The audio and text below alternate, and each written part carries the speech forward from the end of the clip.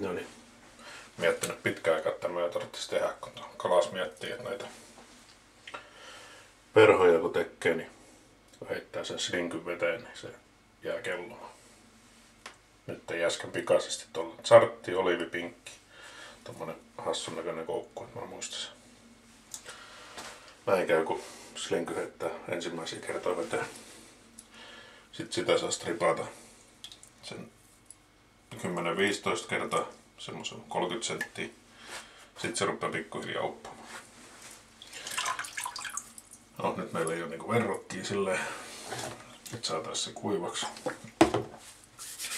Mutta tämmöistä mä miettisin joskus.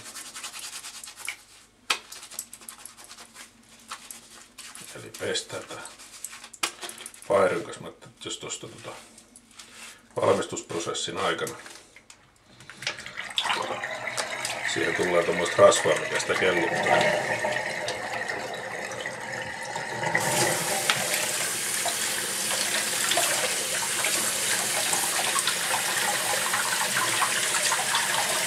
Pestään ja huudetaan hyvin.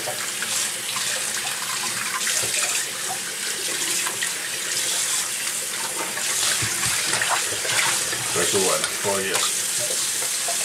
Tulppakin oli sopivasti kivasti hävinnyt. Nyt kun se tuossa täyttyy, niin mä otan pyyhkeen ja kuivatamaan. Linkyjä, katsotaan kuinka on.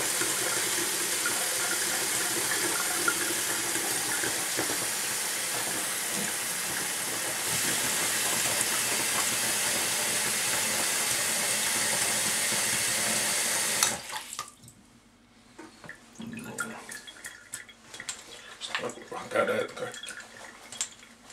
Nyt olisi niin mahdollisimman kuiva tai perho.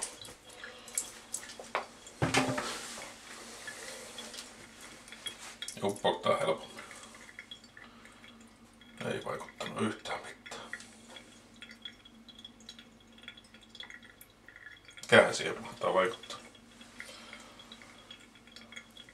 No kyllä se nyt uppoo niinku samalla mun mielestä kuin äskenkin, mutta ei toi mikään. Nyt se mennään pinnalle, kun se on märkä.